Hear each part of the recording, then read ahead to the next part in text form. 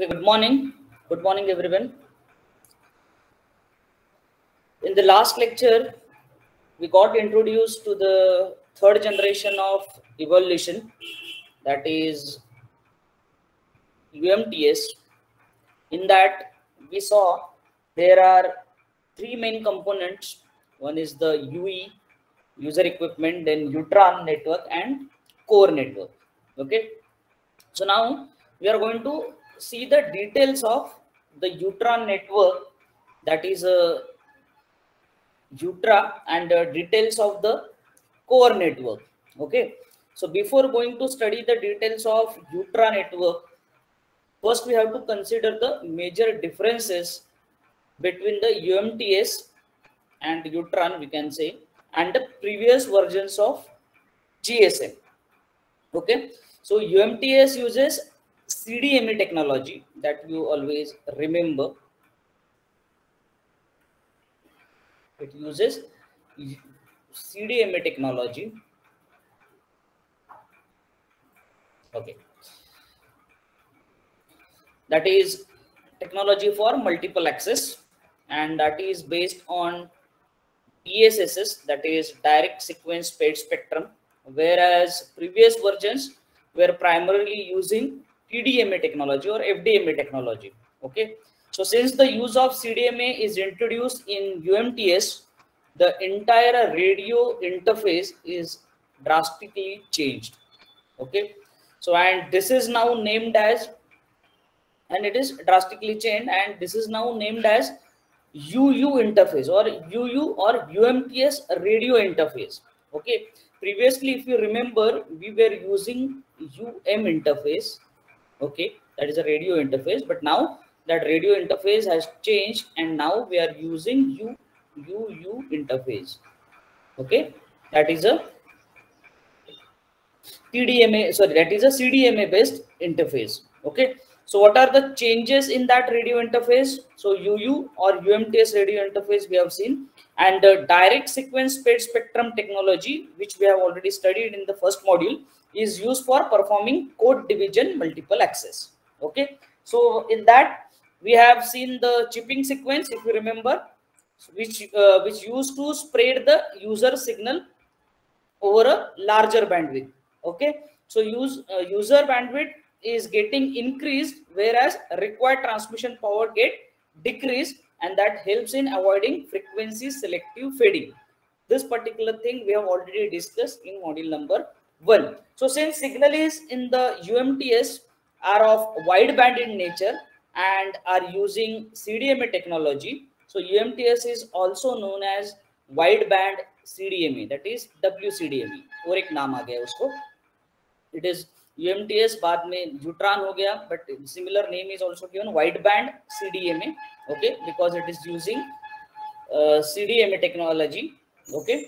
So UMTS alternate name is wideband CDMA. Okay, though the uh, DSS is use why because of that. Okay, so it needs a chipping sequence. So the chipping sequence rate or chipping rate of this chipping sequence is around 3.84 mega chips per second.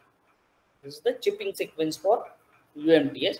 So that means within a one second, 3.84 multiplied by 10 raised to 6 pulses are used okay which will be XORed with the user data signal okay? And another major feature of this chipping sequence is it uses a so-called orthogonal variable spreading factor okay? It uses a orthogo orthogonal variable spreading factor which is known as OVSF code okay? Now what is the what is orthogonal code? So orthogonal code means when there are two codes if they are orthogonal to each other that means even if they are combined together their codes may not be mixed with each other. That codes are known as orthogonal codes. Okay? So if two codes are orthogonal to each other they can be multiplexed together without mixing with each other. That is the meaning of it. Okay? So umts umts uses os ovsf code.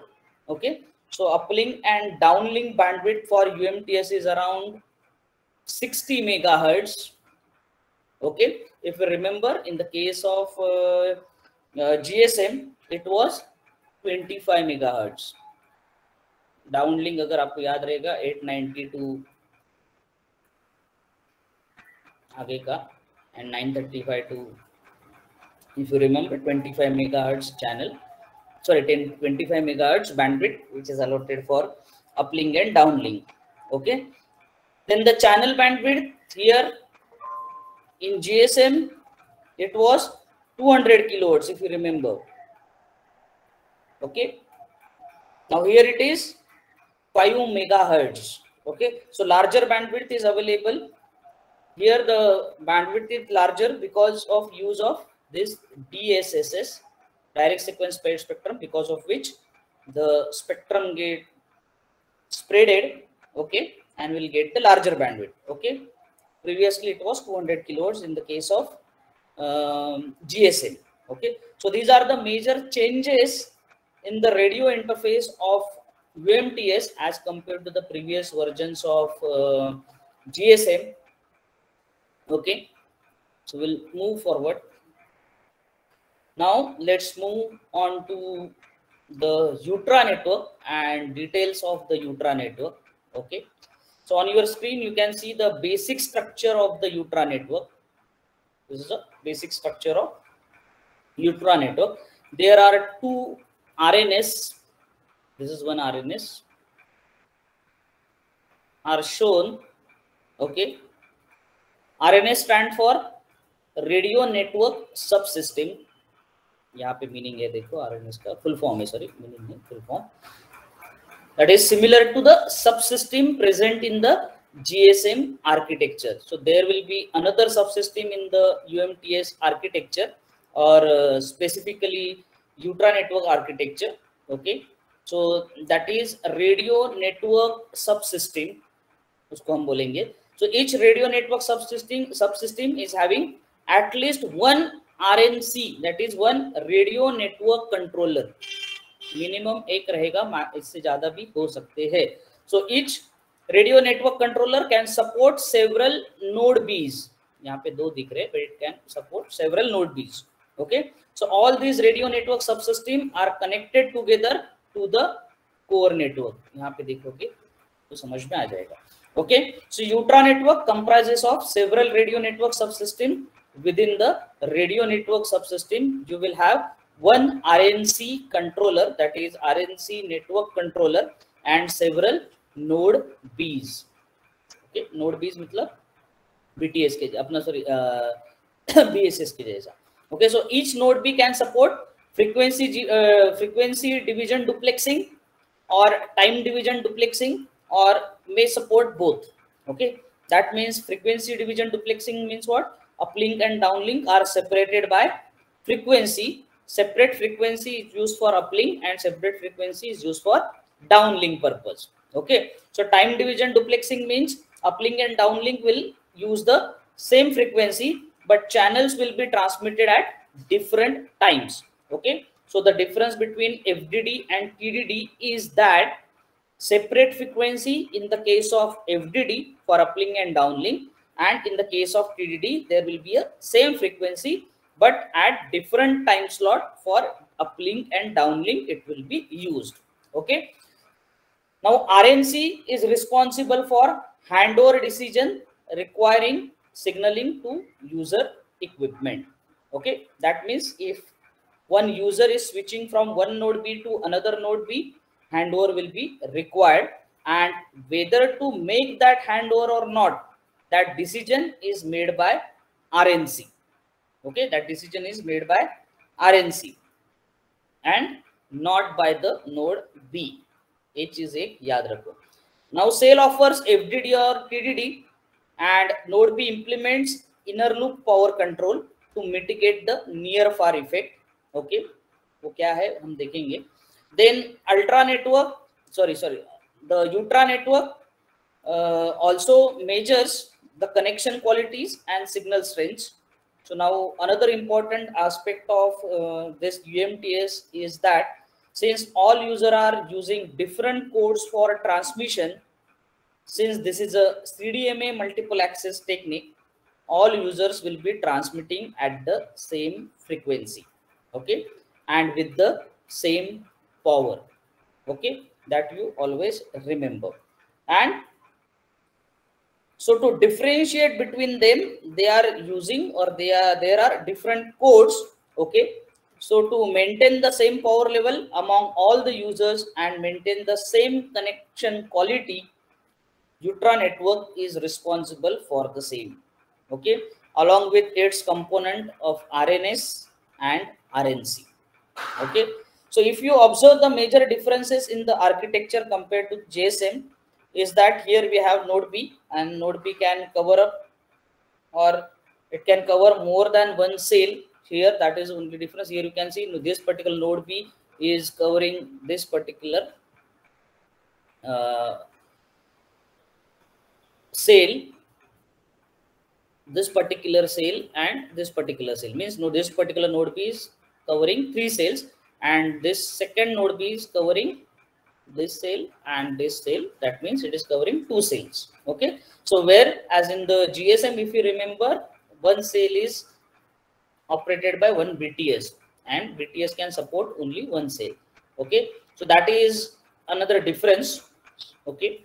Here the interfaces are also modified okay? They are adapted to the umts technology and different names have been given to that particular interfaces okay so that is all about what about the uh, utran architecture? Okay we'll move and we'll see the functions of rns and rnc okay.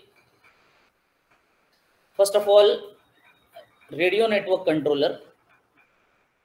Even we are going to see the functions of rnc rns and node b. All three are there. So we'll go even the core network also okay. So the first of all rnc that is radio network controller which is a part of one radio network subsystem. So each rns must have at least one rnc that you remember. Okay. So there are so many functions of rnc okay. It is the or it is most important component in the Utra network architecture you can say. Okay. The first task of this particular radio network control is, is that admission control or call admission control. Call admission control means rnc calculates the traffic within each cell that means how many numbers of users are simultaneously trying to communicate and then it decide if additional transmission are acceptable or not. Okay? Means for example suppose for one sales suppose there are 50 channels okay and there are 45 users who are working or who are using it simultaneously or want to use it simultaneously or trying to communicate okay then obviously 45 is less than 50 so additional transmission or additional users who want to communicate can be allocated here okay that is possible but if suppose there are 55 user and channel capacity is of only 50 okay or 55 users who are trying to communicate but the channel for the sale is supporting only 50 channels then no more additional facility or additional uh, transmission can be allowed. So that is called as a admission control okay. Then the next task is congestion control okay? So now congestion control happens when more than one user trying to access same channel. Okay? But in the case of cdma technology node b is implementing fdd or tdd mode. In the case of tdd all users will be allocated a bandwidth in cyclic fashion or in round robin fashion. Okay? So let's say suppose there is a channel a channel hai f1 okay and two users trying to access the same channel then they will be allocated this channel one by one okay means एक बार first user इस्तेमाल करेगा then second user will use that then again first and so on okay or if there are three users that will be in round robin manner so the first second third then back to the first and then second and then third in cyclic fashion this will be allocated okay? But while allocating this particular channel rnc must consider the qos requirement that is quality of service requirement of the each individual user okay? Suppose for example when the three users are trying to access the same channel how to decide which one is the first user okay? So depending on the qos requirement which means quality of service requirement what type of quality they require the decision will be made by the rnc based on that. Okay? So let's assume first user is trying to send a voice or trying to make a call. Second user is trying to send an image whereas third user is trying to send a video. Okay? So obviously call will require the lesser bandwidth as compared to the image. Okay and definitely the image will obviously require the lesser bandwidth than the third user who is trying to send the video. So depending on the type of data they are trying to communicate okay the quality of service requirement will be there okay? And based on that availability of the channel or parameters supported by that particular channel rnc will decide who will given chance or first chance we can say to access this particular f1 or channel okay who will be given access second and who will be given access third and so on okay so that is what the QoS will be, that is how the QoS will be maintained. Okay. So congestion was avoided by allocating the bandwidth to the each station in round robin fashion or round robin manner. Then apart from that, the next task of RNC is doing encryption and decryption. Okay. So basically all users are using same frequency and transmitting at the same time. So all the data must be encrypted before it is transferred over the wire network okay so rnc encrypts all the data arrived by the so arrived from the outside network or the fixed network before transmission over the wireless okay so let's say um, there is one mobile user suppose and here is the rnc okay and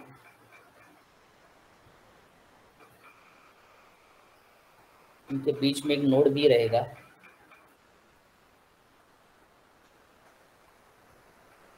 this is a wireless interface as well as this is a wired no this is also the wireless interface. Okay so this is wireless connection connected to the node b. So whatever data comes from external network okay that will be encrypted first and then transferred over to the user okay. In the reverse direction what happened? Data is encrypted by the user is given to the rnc via node b and that data has to be decrypted before okay? So it is given to the external network. Before that it will get decrypted okay? So encryption and decryption both the tasks will be done by the rnc okay? Then the next task is radio resource controller okay? Or radio resource control okay? In this one it includes interference and load measurements okay? To allocate different channels to the different users the interference levels and the load on that particular channel has to be considered. So that part is done by rnc okay? So priorities of different connections have to be obeyed. Just like we have discussed in the congestion control, that channel which has a more interference level will be allocated at the last. Okay, whereas the channel which is having a least interference level may be allocated initially. Okay, that is a radio resource control. Okay. Then next task is radio bearer setup and release. Next task is radio bearer setup and release.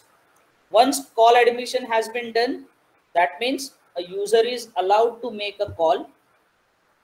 Then setting user will be make uh, allowed to make a call or maybe setting up or maintenance and release or releasing of a connection or uh, logical channel to the user okay is done by rnc only okay. So rnc is responsible for call, call admission control and after admitting the call setup and maintenance and release of a call is also handled by radio network controller okay so now in this particular case, we are using CDMA technology. Okay, so for CDMA, each user will require a separate code. Okay, now who will allocate that particular code? Now that code is allocated by RNC to each user. Now that is what the work of RNC for code allocation. Okay. Now the next task is power control. Okay. Now as the users of the umts that are transmitting with the same power we have seen the job of rnc is to use minimum power in order to communicate with the external network. Okay. But minimum means how much? So to decide that node b suggests rnc that some minimum power should be maintained in order to maintain the quality of the communication as defined by the QoS, that is quality of service. Okay. So if it is sending a video, what should be the minimum power with which this video should be sent in order to maintain the quality of the video. Okay. So that power level is suggested by the node B to RNC. Okay. So RNC communicate with the external network with that minimum power. So this is called as a outer loop power control. This is known as outer loop power control. Okay. So RNC only performs this outer loop power control, whereas node B will perform a inner loop power control. Okay. It means that RNC influences transmission power based on interference values from other cells or even by other RNCs. Okay. So in order to maintain a quality, RNC will decide which nodes or which cells uh, or which other RNCs are more interfering and based on that it will try to adjust the power and the support okay so minimum required power in order to communicate with other cell in the network is handled by RNC. So then that is what the work of power control by RNC. The next is handover and RNS reallocation. Okay. So when user moves from one RNC to another RNC or from one node B to the another node B, handover is carried out by the RNC. Okay. So that is a very simple task that is handover control and RNC relocation that we have also seen in the case of GSM also. So one of the last major task of the RNC is nothing but the management. Okay. So the network operator needs a lot information in the case of UMTS regarding the current traffic, maybe the current load or error states, etc. Okay within the particular communication. Okay. For supporting required quality of service parameters, all this information needs to be maintained to manage the entire network. Okay. So this task is also performed by the radio network controller that is RNC. So these are the major tasks of the RNC which has to be considered while we are talking about the uh, architecture. Okay. So now we'll move. Now the next component is node B that connects one or more antennas creating one or more cells. Okay. In GSM, we saw a BTS is responsible for creating a single cell or maintaining a single cell. Okay, here a node B connects one or more antennas for creation of multiple cell or in case of uh, GSM terminology, we can call these as a different sectors. Okay. So if we are using a sectorized antenna, then we can call it as a different sector. Okay. The cell can be either use a FDD or TDD. Okay. Or it can also use both. Okay. So we have discussed this point previously also. What is FDD and what is TDD? So now node B implement inner loop power control to mitigate near far effect. Okay. So let's discuss about this effect near far effect. Okay. First we'll discuss what is near far effect and then we'll discuss what is the inner loop power control. Two terms uh, we have just seen. एक near far effect और दूसरा inner loop power control so will going to see this let's consider one particular scenario okay this is the scenario okay so here is one node B is present here I will use different colour okay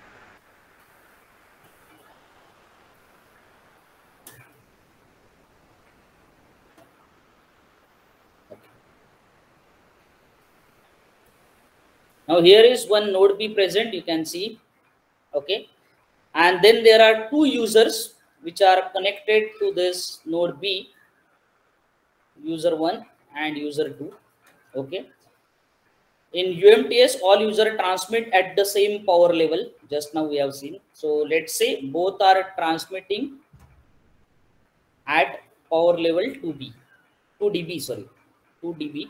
So both are transmitting at 2 db so the signal which is transmitted by user 1 this and signal which is transmitted by user 2 this will reach node b with a certain power level okay so suppose ये one से जो जा रहा है from user one to node B तक का जो है that is one dB after reaching to the node b because as the signal leaves the user we know that it start degrading so it's called as a quality or signal strength as it moves further away from the user. So we know that signal strength is inversely proportional to the distance between the sender and the receiver. Okay. So as it moves away from the user, signal quality goes on decreasing. Okay. So let's say it reaches from user A, it reaches to node B with the power level of 1 dB. Okay on 1 dB level. Okay. Now second user is further away. You can see second user is much more uh, have a larger distance as compared to the user one. Okay. So from node B, if you suppose this particular user, it is also transmitting a 2 dB power level. So when it reaches to node B, okay, or a signal reaches to node B, it will suffer more degradation as compared to the first user.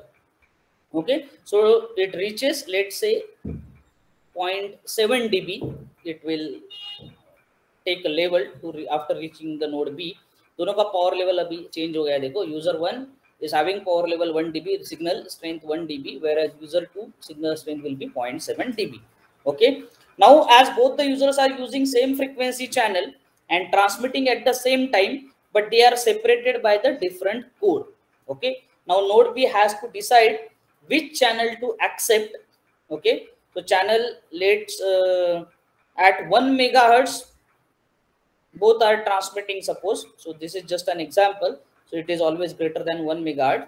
So both are having the same frequency. So which channel to accept? So node B decides that the signal which came from user 1 has a better signal strength as compared to the user 2 signal.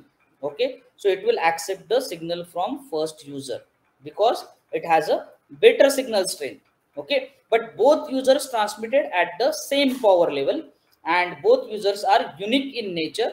That means they are communicating with the different data. So since first user is closer to the node b and the signal strength for first user is always accepted and signal from second user will always be rejected in that case. So this is because signal one or the signal from first user is closer or nearer to the node B and the signal from second user is further away or far from the node B. So obviously second user signal will always be degraded much more compared to the first user and second user will never be able to communicate with node B. Okay, so this is called as a near far effect. This is called as a near far effect. Okay, the user which is nearer to node B will always be able to communicate and the user which is far from node B always miss out the communication. Okay, so this is called as a near far effect. Okay? Now to mitigate this particular effect or to avoid this effect what node b does? So it uses a inner loop power control. Okay? So we'll see what is inner loop power control this is the scenario. The same situation we are going to see. So the first user is closer. Second user is further away. Now both will transmit at the same power level. That is 2b scenario is same again. User is same.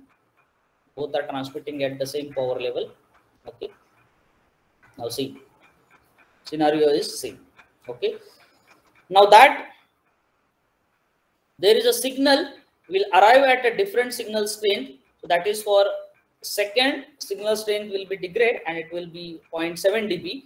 And for first after receiving at the node B signal strength will be 1 dB. Okay? So now these signal measurements are continuously given by the ue that is user equipments to the node b.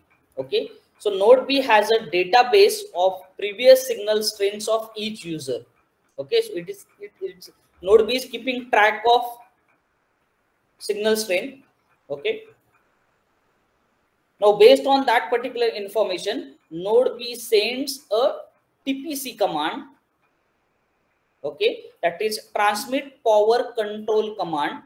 So this tpc command is sent by node b to the second user indicating whether they need to transmit at a higher level or higher signal strength or they should reduce their transmission signal strength okay so this tpc command will indicate each user whether to increase that signal strength or whether to decrease the signal strength okay so how does it indicates that so let's see that since second signal here is always going to be received at the lower signal strength. So node B indicate that the second user to increase its transmission power. Okay. And that is indicated by transmitting this one to second user and user one should be indicated not to increase its transmission power. Okay. So it can be indicated with zero or it can be informed with the zero. So TPC command will transmit either one or zero, okay, to indicate whether to increase or to decrease the signal strength or signal level at its transmission signal strength to avoid the near and far effect. Okay, so if one is received by the second user, then it will be understand that there is uh, another user which is nearer to node B and so I should transmit at a higher signal strength so it will increase its transmission power. And from let's say from 2B it will transmit to 3 dB okay so that is a signal which will which will be having much lar larger signal strength and when it receives to node B uh, the near and far effect can be avoided. Okay? So this process is known as inner loop power control. Okay? And that is very helpful in order to decide whether to make a handover or not. Okay? So we have seen what is a near and far effect and what is a inner loop power control okay? So let's back to the functions of node b. So in the loop power control we have seen this now just now that we remember. Okay? So in the loop power control is used for mitigating near far effects by the node b. So node b also measures connection qualities and signal strengths so that is required for implementing inner loop power control. So node b also supports special case of handover called softer handover. Okay. So we know that or we know what is a soft handover. Okay. So soft handover means before leaving the previous connection acquire the new connection. Okay. So make before break is the connection that is so which takes place between different users or different antennas of same node b. The softer handover is happening between the different antennas of our same node b. So node b can support multiple antennas. So if user is moving from this antenna to another antenna suppose one antenna to another antenna a soft handover will be implemented. Okay? So that is frequency of one antenna will be acquired and then the frequency of another antenna will be released. Okay? So this is a soft handover but since it is uh, happening inside the same node b it will be called as a softer handover otherwise the concept is remaining same. Okay? So softer handover take place between different antennas of the same node. Okay? That you remember. Okay? So now let's move on. So basically these uh, two components we have seen of Utra network node b and rnc so now the another component that is user equipment okay which supports all the components present in the Utra network. So it has a counterpart for node b counterpart for node c and sorry counterpart for rnc and also has a counterpart for core network also okay? So whatever function implemented by node b okay will be associated with the user equipment okay? So user equipment also performs signal quality measurements. It also supports in the inner loop power control. It also support in spreading and modulation and rate matching okay? So all these functions are done by node b which are mentioned in the slide okay? So their uh, implementation implementation is done by the association with the user equipment basically. So user equipment has a counterpart for node b inside the device okay?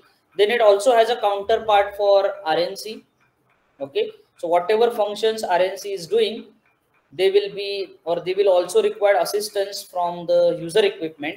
So user equipment has a counterpart of rnc inside it also so rnc functions such as handover then cell selection encryption decryption all will be assistance all will get assistance with the user equipment okay? Then the next is counterpart of cn okay? So it functions will be also with the help of user equipments are implemented like management functions bearer negotiation or requesting certain services from the network. So this will be initiated by the user equipment and then implemented by the core network. Okay. Now we'll see the functions of core network. Okay. So this is a core network architecture.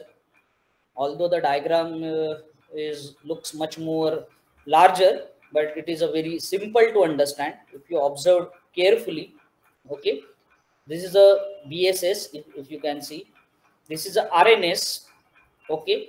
And this is nothing but the core network. This part is nothing but the core network okay?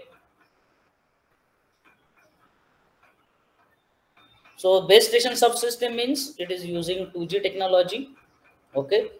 And rns means this is using 3g technology. This is umts okay.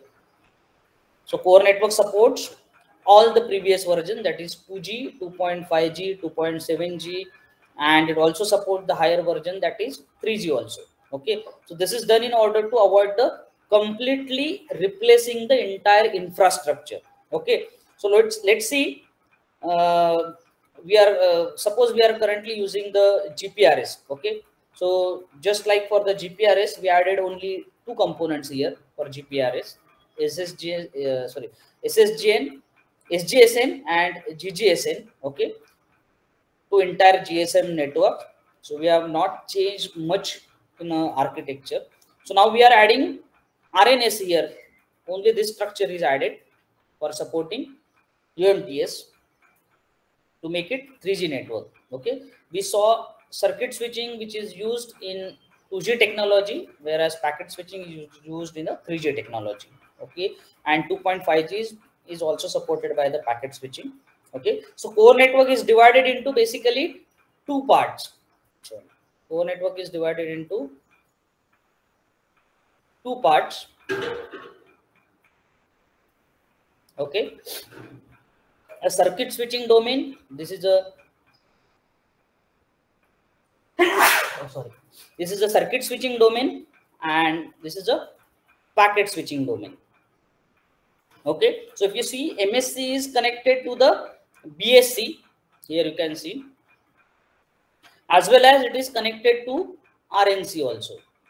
You can see here. The interface is different, obviously. Here IU interface is used. Okay, so connected connect to the BSC through the IU interface and to RNC through the IUCS interface. You can see here this IUCS interface is there. Okay. Similarly, here SGSN is also supporting BSC and it also support the RNC. Okay. Connection to the BSC is through IU interface and connection to the RNC through the IUPS interface. Okay. So what are the functions of this? We will see two domains that we have seen. So as I said, the core network is divided into two parts. Okay, circuit switching domain and the packet switching domain. So circuit switching domain is comprises of the current classical circuit switching services, including signaling. So resources are reserved at a connection setup.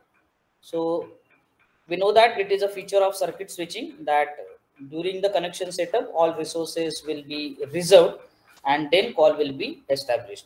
Okay, so it includes the connection setup and GSM components like MSC, then GMSC, VLR. So ये जो CSD है, that CSD connects the radio network subsystem, which is a part of 3G. Okay, and the connection is done via a part of IU interface, okay, that is called as IUCS, that is IU for circuit switching. IUCS is nothing but the IU for circuit switching. The CSD components can still be part of classical GSM network that is connected to the BSS, but need additional functionalities that is a new protocol which are required. Okay, so what is IUCS? So all the protocols which will use for the GSM and GPRS they will still exist but to support a 3g that will be have additional protocol which will be installed in the architecture. Okay? So this is similar to the packet switching. So it uses now we'll see the packet switching domain also. It uses the gprs components such as sgsn and ggsn and connects to the rns via iups interface or that is a which is a part of IU network. So both domains need a database for equipment identification and location management. So apart from that, no additional protocols will be introduced for supporting the third generation communication.